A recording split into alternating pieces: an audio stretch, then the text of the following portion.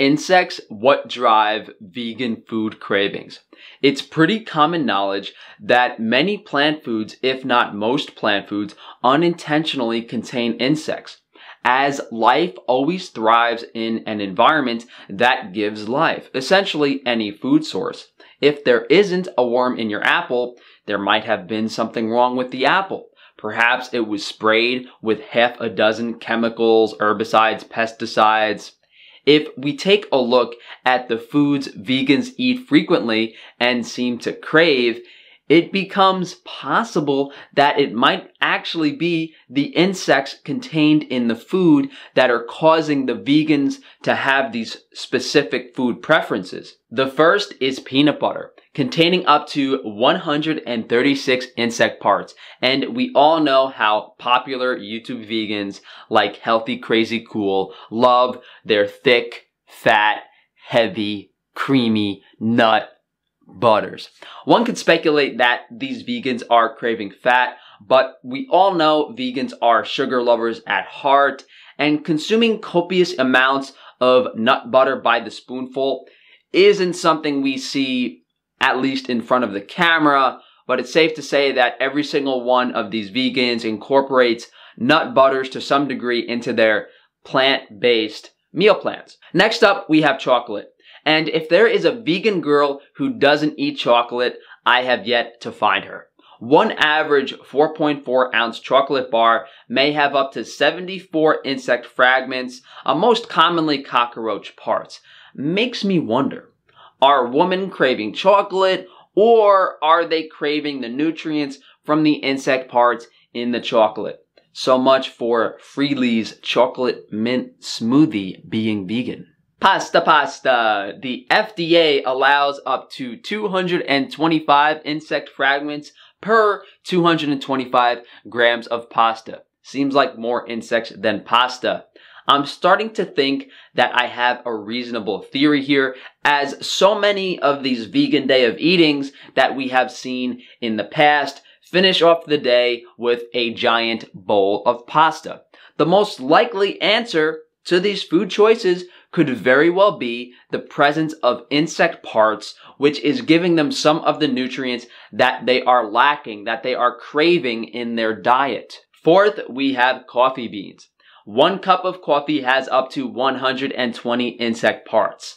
The FDA approves coffee samples that are less than 10% insect infected. So a coffee drinker could unknowingly consume thousands of insects worth of coffee every single year.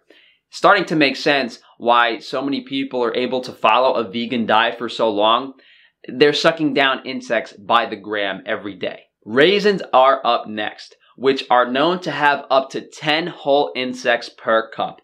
The FDA claiming that insects are perfectly safe to consume for human health. And I don't disagree with that, but what else could they really say?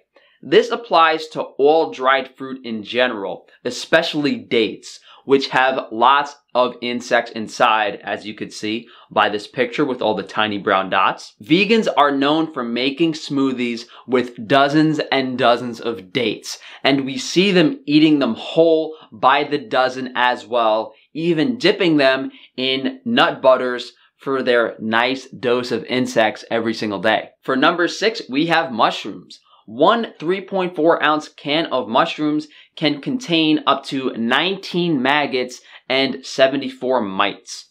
The FDA claiming that there is plenty of nutritional value in these insects. I can't make this up. Every single vegan loves mushrooms and eats them just about every single day, calling them meaty when I guess they should be calling them like anti or insecty or perhaps maggoty Frozen broccoli and likely other frozen vegetables contain aphids, very tiny bugs, up to 60 of these per 100 grams of frozen broccoli. Imagine how many insects these vegans are eating in their giant veggie and fruit smoothies. Probably hundreds and hundreds of insects per day. Canned tomatoes also contain flies as well as fly eggs, and are a fairly popular addition to many vegan pasta dishes, and they usually add tomato sauce to their beans, legumes, whatever they're having. For number nine, we have black pepper, which we see vegans cracking on their avocado toast like they want to burn their tongue off. There can be up to 475 bug parts per 50 grams of pepper. Are we actually using black pepper or are we just grinding up ants onto our food?